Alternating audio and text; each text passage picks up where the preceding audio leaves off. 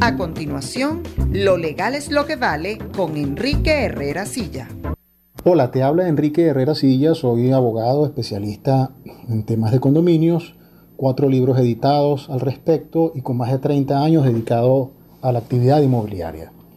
Por allí en el ambiente una gran preocupación, me han, yo he sido llamado, me han enviado muchos mensajes diciéndome la, manifestándome la preocupación que existe actualmente en el ambiente sobre nuevamente, porque ya eso había sido disipado, pero nuevamente sobre la posibilidad de que constituya un delito el hecho de publicar a los propietarios, informar a los propietarios la lista de los morosos, la lista de la morosidad. Eh, hay algunos acreditados penalistas que eh, han señalado por las redes sociales en estos días que hacer esa publicación, que informar a los propietarios de esta situación, constituye el delito de difamación tipificado y sancionado en el artículo 442 del Código Penal. Me preguntan si es así o no es así. Pues yo voy a responder lo que la ley establece, que no es otra cosa que no es ningún delito publicar en en, el chat de los propietarios, en los correos de los propietarios, en el portal del administrador relacionado con el condominio que se trate de la lista de los morosos, de todos los morosos, la lista de pagos, quién paga, quién no paga, cuántos meses debe, etc. ¿Y por qué no es ningún delito? Porque estamos dentro del marco, en el caso de condominios, de la ley de propiedad horizontal. Y la ley de propiedad horizontal establece en la primera parte del artículo 19 que la responsabilidad del administrador, y en este caso abarca también a las juntas de condominio, se rige por las normas del mandato. ¿Qué es un mandato? Un poder. consecuencia, el administrador y la junta de condominio son apoderados de la comunidad. El artículo 1694 del Código Civil dice el mandatario, en este caso el apoderado, pues que no es otra persona que el administrador y la junta de condominio, están obligados a dar cuenta de sus operaciones, la Real Academia Española establece que dar cuenta no es otra cosa que informar detalladamente.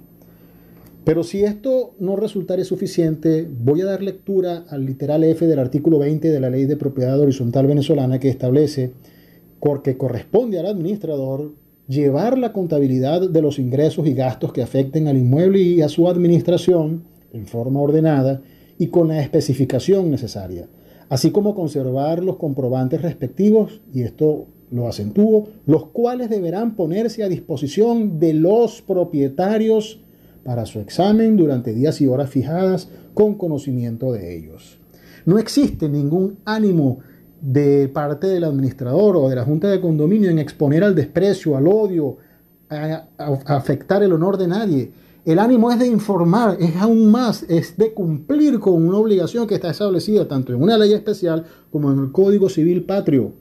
Es imposible que eso pueda constituir un delito.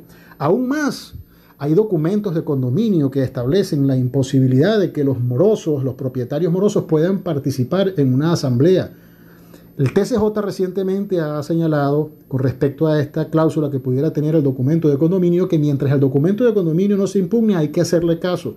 Imagínense entonces que en una asamblea quiera intervenir a alguien y les digan, señor, usted debe 12 meses, no puede intervenir, usted es un moroso y ese señor como se ha dicho eso delante de 20 personas que no son otras que propietarios, acuda inmediatamente a un tribunal de control a intentar una querella y que esa querella pueda resultar con lugar. O que todos los administradores a lo largo y ancho del país, en sus portales que están allí eh, señaladas cuáles son el estado de morosidad, hayan incurrido en ese delito. O que aún más una junta de condominio de cuatro o cinco personas reunidas tengan que acordar de mandar a dos o tres personas por morosidad y de acuerdo con este artículo 442 eso constituye el delito y el propietario afectado saque una copia certificada de esa acta y vaya a un tribunal de control y eso pueda tener éxito. Pues no es así.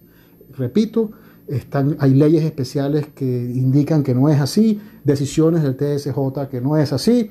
Entonces, por esto concluyo que, por supuesto, para que eso pueda considerarse que no es delito, debe darse lo siguiente. Primero, el administrador y la junta de condominio o el administrador y o la junta de condominio son los únicos que pueden llevar a cabo esa información, que pueden publicar esa información. Segundo, el lugar de publicación puede ser el chat de propietarios, los correos masivos o correos individuales de los propietarios y el website de la administradora, el website de la administradora. Eso también no constituye ningún delito. Y por supuesto tiene que ser un listado de todos los propietarios.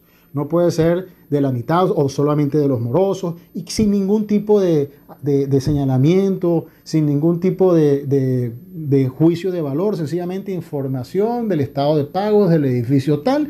Y ahí se colocan eh, los nombres de los números de los apartamentos y se puede colocar los nombres. Pero si se quiere hacer mejor, bueno, se omiten los nombres, no hay ningún inconveniente colocando los nombres. Y se colocan los números de apartamentos.